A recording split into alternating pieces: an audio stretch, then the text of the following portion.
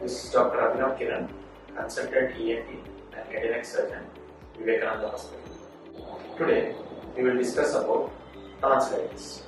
Now, every normal person has two tonsils behind the tongue on either side. Only when these tonsils get infected and inflamed, we call as tonsillitis. In tonsillitis, there will be difficulty in speak, uh, swallowing and pain during swallowing. Sometimes there may also be fever.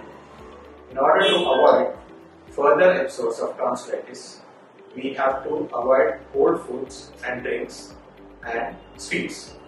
There are two types of tonsillitis acute tonsillitis and chronic tonsillitis.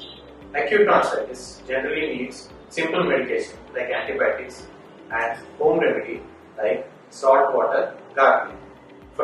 Tonsillitis, which is about 4 to 5 episodes of sore throat in a single year, you may need to get your tonsils removed by a procedure called as tonsillectomy.